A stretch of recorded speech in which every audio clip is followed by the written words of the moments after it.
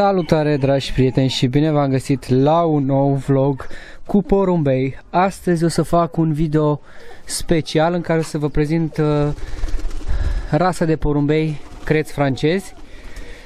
Cel mai probabil astăzi uh, o să-i dau, am spus că dau și creții francezi, trei bucăți pe care le mai am, o pereche și un uh, mascul stingher. Aceștia sunt creții francezi, o să vă spun puțin și despre ei și caracteristicile lor. Vârsta acestora este de aproximativ 2 ani. Sunt porumbei tineri. Am avut anul trecut și pui din ei, dar uh, o să renunț la ei deoarece nu am spațiu. Deși îmi plac foarte mult. Acolo avem în spate unul și aici încă unul. Plus celălalt care este dincolo băgat masculul. Avem aici în prim plan un frumos exemplar încălțătură foarte puternică, moț mare, penajul foarte, foarte creț, după cum observați, aripile, care sunt caracteristicile acestei rase, în principal, de ce le spune creț francez, pentru că sunt creți și au proveniență în mare parte din Franța, fiecare, cum ar fi uriași maghiari, provin din uh, Ungaria, gâtgolaje Transilvania din România, Transilvania, fiecare rasă este dintr-o anumită zonă, dintr-o anumită parte a lumii. Mereu se fac experimente noi și se inventează rase noi. Aceștia sunt foarte, foarte frumoși.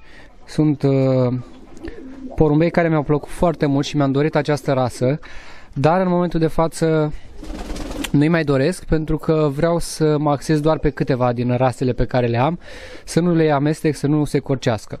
Între ei nu se vor corci pentru că dacă sunt pereche formată o să scoată doar pui din această rasă. Dar n-am eu uh, spațiu necesar și de aceea vreau doar să, să mă axez pe câteva rase.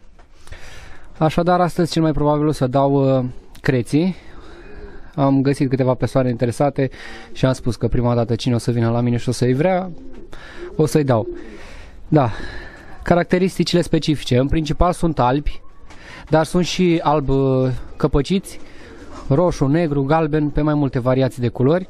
Caracteristici, moț pe spate, încălțătură și diferența față de creții maghiari, pentru că există și creți maghiari, este moțul în plus, pentru că și creții maghiari au încălțătură, dar nu au moț. Iar creții maghiari au mult mai multe variații de culori. Deși dacă tu ai să combini o femelă cu un mascul uh, de creț francez, să spunem, o să-ți dea posibil și cu moț. Se pot uh, înmulți și așa. O să-ți dea 100% porumbei creți, dar uh, posibil unii să dea cu moț, alții fără moț. Aceștia sunt foarte, foarte frumoși pe care am eu. I-am luat de la un crescător care are rasa asta și nu sunt corciți pentru că mai există și corcituri. Unii mai amestecă, să zicem, dacă aș avea un creț francez cu un porumbel simplu și s-ar putea să-ți dea semi-creț. Cu siguranță o să iasă semi-creț. Depinde de gena fiecăruia. Dar ăștia, după cum se observă, au o încălțătură foarte puternică, mare, deci uh, n-au probleme cu zborul, chiar de au încălțătura destul de mare, zboară absolut peste tot, merg lăsați liberi, nu o să zboare ca și un voiajor atât de mult, dar zboară destul de ok. Se înmulțesc, uh, în principal se înmulțesc destul de ușor, dar uh, depinde cum uh, nimerești tu porumbei, dacă gena lor este să facă pui uh, foarte mulți și productivi, o să aveți uh, noroc. Sunt și perechi care fac mai uh, puțini, una, două, trei serii, să spunem, pe an. Sunt și care fac câte 5, 6 serii de pui pe an. Aceștia au avut uh, doar o singură serie, au avut mai multe ouă, dar uh, mai tot timpul le spărgeau alții sau nu-și găseau ei cuibar, pentru că am avut foarte mulți și de aceea uh, îi și dau. Am avut foarte multe rase amestecate și nu vreau să-i mai țin pe ăștia. Mi-au dat până la urmă o serie de pui și Cam atât. Uitați-vă la penajul de pe, de pe aripi, observați cât de crețe sunt. La fel și la încălțătură, penajul e creț, coada nu. Aripile și încălțătura. Cu cât sunt mai creți, cu atâta sunt uh, de rasă, mai originali. Observați că și cel de dedesubt, uriașul maghiar, are o încălțătură foarte mare. Sunt aproximativ la fel ca și lungime. Sunt niște porumbei superbi, niște porumbei de ornament. Am prins puțin să-l vedeți uh, mai de aproape. Uitați-vă ce penaj creț are. Foarte frumoase penele. Un alb imaculat. Acum se vede puțin spre albastru, pentru că aici înăuntru se reflectă în funcție de acoperiș. Da. Astea sunt caracteristicile la creții francezi. Cei care n-au moț sunt creți maghiari. Trebuie să aibă moțul pe spate.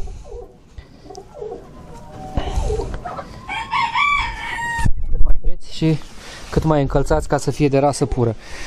Restul sunt corcituri. Aceștia sunt foarte frumoși.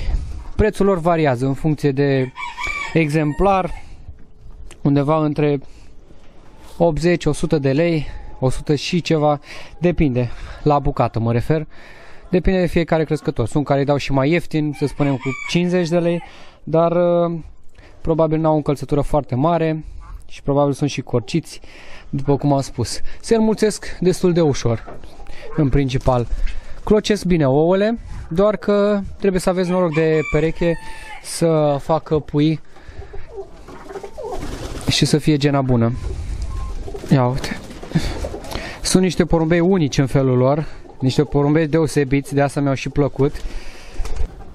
Cu siguranță cel care vei lua mai departe la rândul lui o să se bucure de ei pentru că sunt niște exemplare superbe.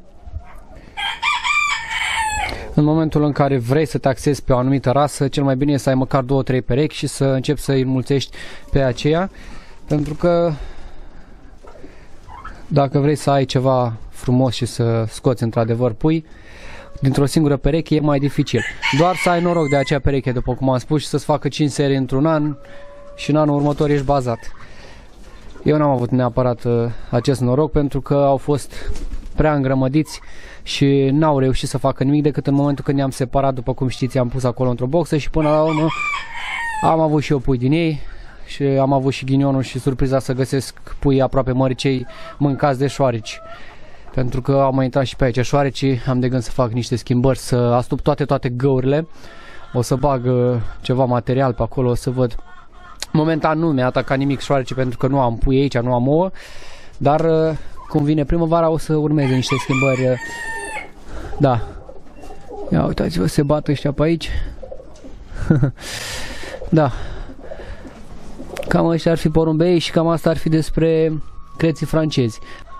Na, poate dacă o să mai doresc pe viitor să-mi achiziționez creți, uh, cred că o să-mi iau creți căpăciți. Și dacă e să-mi iau, mi iau două perechi zdravene. Tot două perechi am avut și la început, dar uh, femeia murise la unul dintre masculi. Ia uite, bate gâtgolașul. Și asta mi se pare o rasă foarte unică. O să mai fac uh, video separat și cu rasele pe care le mai am, după cum am spus. Dar astăzi, dacă o să rămân fără ei, o să vedeți și voi uh, un ultim video. În momentul când am dat uh, uriaș maghiar, uh, n-am mai apucat să filmez.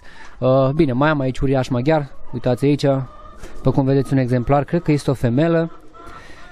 Este tânără, adică e un pui tânăr de anul trecut, încă nu îmi dau seama bine, dar cred că este o femelă, s-ar putea să fie o femelă.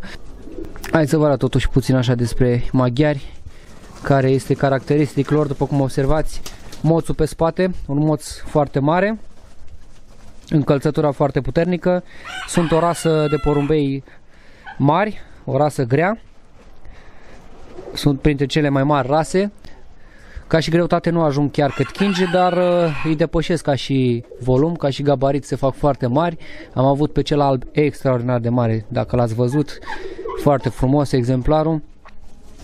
Dar uh, cam astea sunt caracteristicile. Pieptul lat, moț mare pe spate, încălțătură foarte mare. Cu cât e mai mare încălțătura, cu atât e gena mai puternică. Porumbei sunt uh, mai uh, originali. Culorile variază, pot fi toate, toate culorile, absolut orice culoare, combinație. Se înmulțesc destul de ușor, chiar foarte ușor. Dacă ai noroc, fac și 3-4 serii pe an. Singura lor problemă este să le tai uh, picioarele, să le tai încălțătura de la picioare, îmi cer scuze, să le tai penajul ca să nu spargă ouăle sau să le dea jos din cuibar, cum am mai pățit și eu de foarte multe ori.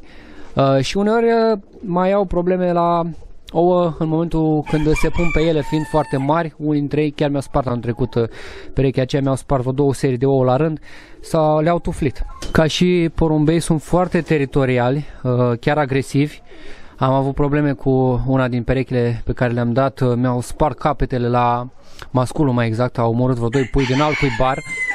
Uneori au obișnuința de a ocupa două, trei cuibare unul lângă altul și au nevoie de un spațiu mare, fiind și porumbei mari mi-au atacat, mi-au spart ouă, pui, mi-au omorât. Sunt uh, agresivi. Dar dacă ai numai de ăștia, o să scoți ceva frumos din ei, că se înmulțesc ușor. Și dacă combin unul detalie mică cu unul detalie mai mare, o să-ți dea porumbei din ce în ce mai mari. O să dea sămânță bună. E bine să-i și schimbi uneori. Da, cam asta ar fi caracteristicile acestei rase uriaș maghiari. Astăzi să spunem că am făcut uh, bonus crezi francezi și uriaș maghiari. O să văd dacă persoana care vine astăzi mi-a spus că este interesată de mai multe, de mai multe perechi. Să vedem exact cum ne înțelegem și cam ăștia ar fi. Și asta e o culoare foarte frumoasă. Îmi place încălțătura ei puternică, are cred că trei rânduri cel puțin de pene la picioare.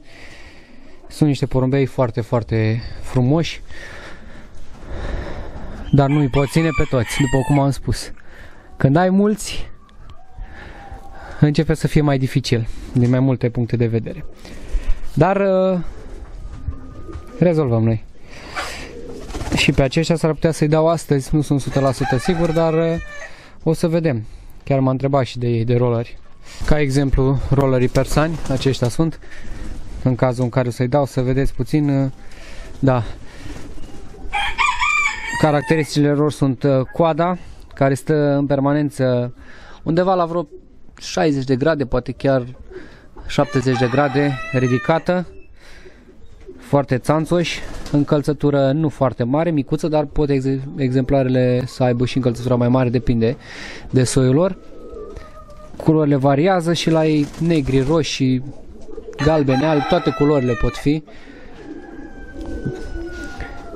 Sunt niște porumbei foarte frumoși ăștia. Observați ce pieptare, ce colorit are și încă acum nu este lumină să se reflecte. Nu e soare absolut deloc. Se înmulțesc foarte, foarte ușor ăștia. Fac 5-6 serii de pui pe an. Cresc pui, ambii pui i-au dus la maturitate. Am avut uh, o pereche foarte productivă. Cel pe care îl vedeți aici și cu perechea lui. Doar că nu vreau să-i mai țin nici pe ăștia. La fel și rostovi pe care i-am avut o pereche foarte, foarte productivă, dar i-am dat.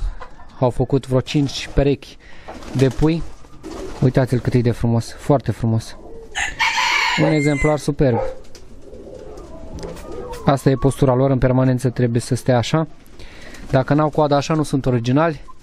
În niciun caz. Trebuie să aibă coada evantai. Exact ca un evantai să-l țină semi-deschis. Nu sunt uh, și aripile, după cum observați, lăsate pe spate, chiar să atingă pământul.